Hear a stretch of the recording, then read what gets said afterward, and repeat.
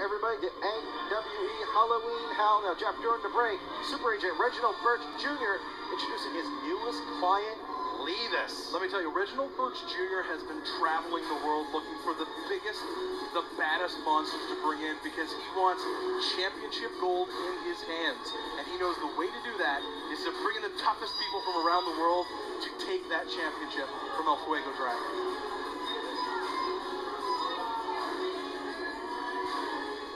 I don't know who this Lievus person is, but look at the, the physicality. Look at the, the body on this guy. This guy is a monster. Did you ever doubt Reginald Birch Jr.? He said he was going to bring in a monster.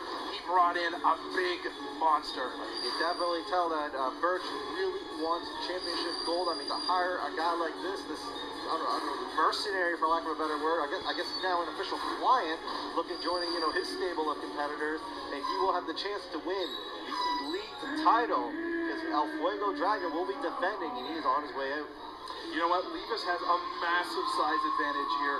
I can't imagine El Fuego Dragon even stands a chance in this match. El Fuego Dragon definitely the underdog as far as size goes in most situations. Speaking of size, in the past few weeks, El Fuego Dragon being ransacked, being attacked by, by this by this mystery man, this beast of a man who comes out, decimates him, and leaves him there. I mean, you, you've got to think you know, is, is, is Birch behind this? Or is this guy acting on his own accord? What is going on? El Fuego can't catch a break.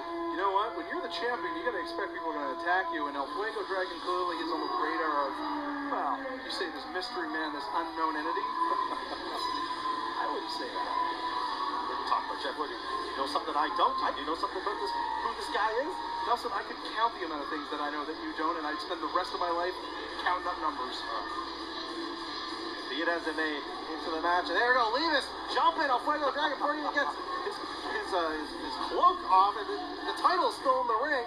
This Lievus means business. He wants the belt. He's going to take any shortcut he can. Lievus has the, that killer instinct right now. He's holding the belt there. This is a foreshadowing of what's going to happen in this match, Nelson.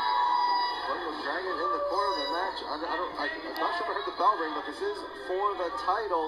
You gotta think that Lievus, I mean, for him to win the title in his debut match, that will send shockwaves through the locker room. Well, I mean, by saying that, you, you sound like you're doubting Reginald Birch Jr.'s scouting ability. When he brings somebody in, he brings in a top-level competitor. Fuego Dragon with the quick pull the ring rope there. Lievus tumbled to the outside. Now Fuego Dragon hopefully can at least recover from that from that early sneak attack. And a nice basement drop kick to the outside. He's only delayed the inevitable beating, Nelson. Dragon going up to the top rope. He is one of the Highest of flyers here in NWE takes it down with a flying crossbody.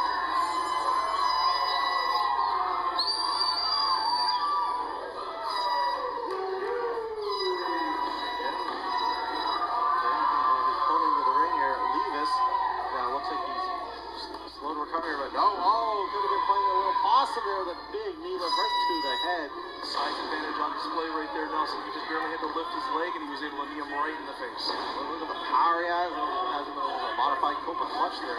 Squeezing the life out of Fuego Dragon. I mean, you gotta wonder if Fuego was even prepared for this matchup. I mean, none of us even knew that Lievus was a client of uh, Reginald Birch Jr. Well, you know what? I don't want to discredit El Fuego Dragon too much. I'm sure as a champion, he's prepared for this match. I don't know if he was prepared for somebody the size of Lievus. Yeah, big, blood and blood in the back. The dragon just all kinds of agony on Lievus. That weight. There's that size. Just, just crushing his throat on the, on the rope there. and there you see Reginald Birch Jr. kind of sending a message to El Fuego Dragon that he is. Oh, come on, ref. Come on, ref. Turn around.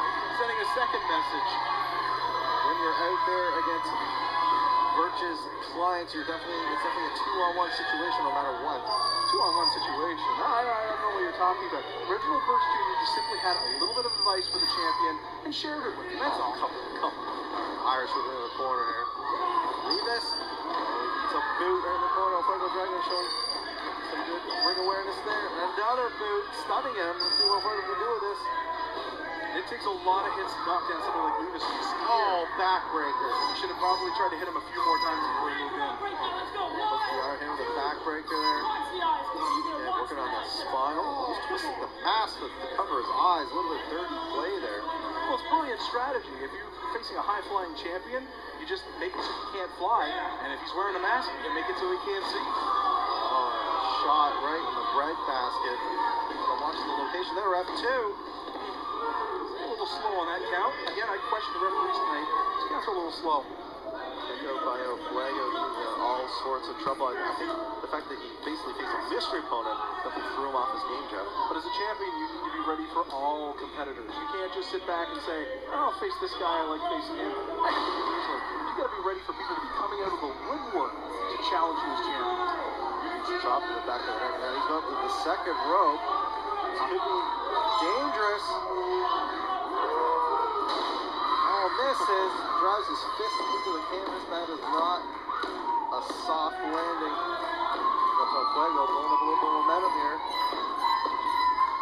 Pulling some of his high flying maneuvers here. He's in the arsenal. Clothesline. Wheelbarrow. Into a beautiful bulldog. What a counter. One, two, and only a one and a half count. Lievus showing some great toughness there. That's that's just a testament to his strength and conditioning. A man that size, you're have to use a lot more to take him out. Drop kick to the stomach there, setting him up. Corner. Flip. Counter. Or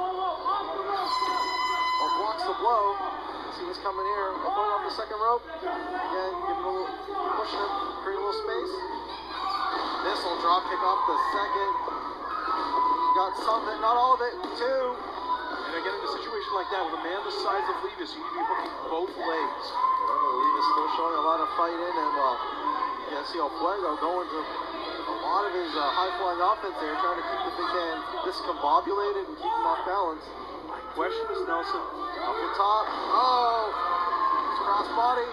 Two. Good adjustment. I think he might have been going for almost a fence press, but just into a cross body. Good, good last minute call there. Nice last minute switch from El Dragon. It's only a matter of time before Lievus gets up. Right now, he's got Reginald Birch Jr. on the outside. Reginald's giving him advice. Reginald knows what it takes to make a champion. Sam setting up for the finish. Into the corner. Lievus. Scoop. Michinoku driver. One, two. And with the kick out. Taka Michinoku would be impressed if he wasn't scared of Lievus. Driving him in the upper shoulders and the neck area. Great power move from Lievus, but cannot put El Fuego away. And again, El Fuego Dragon appealing to these fans, each and every one of those idiots. What do they think they're going to do for him? He's going to focus on Lievus. He's going to take him down. He's going to win the match, and those fans are not going to be able to help him. Oh, he's definitely trying to get some strength from the cheers of the crowd here. El Fuego, though, in all sorts of trouble. Look, look, look at Lievus stalking his prey, taking all the time in the world. A matter of time, Nelson. Just a matter of time. To complete this. You don't want to get caught in this avalanche here. Spears the corner buckle. El Fuego looks like he's setting him up for, something. Whoa, oh no. Oh no, not again. setting him up for the finish again. Hits it. The ref is leaving. The ref is gone after hearing that, that Oh, wait. music. Wait, there he is. There he is. No, not this man again. Who is this guy? What is he have against El Fuego Dragon? Uh, Fuego Dragon, El Fuego finally gets some licks in. Get him, champ. Thanks for a man. Hop up. Drop and a counter. I don't think things are going exactly the way he wants it. It's barely fazing him, Nelson. He's going off the top. He's stunned. He should be running. Oh, catches him up the crossbody. Plants him with a swinging Uranage. Oh my God, just crushes him. Once again, Nelson, El Fuego Dragon made the mistake of not expecting people to come out of the woodwork. I told you earlier he was a targeted man. And again, this whoever this man is has making it clear that he wants the elite title. Who is he? Who is this man? Well, I'll tell you who this man is. His name is Valhallus Vindictus. And he is making it clear, and I'll tell you right now, he wants that elite championship. Oh my goodness, Valhallus Vindictus crushing El Fuego Dragon again. I can't believe it. What will El Fuego Dragon do? Stay tuned, folks. We have more action coming up on NWE Halloween Hell.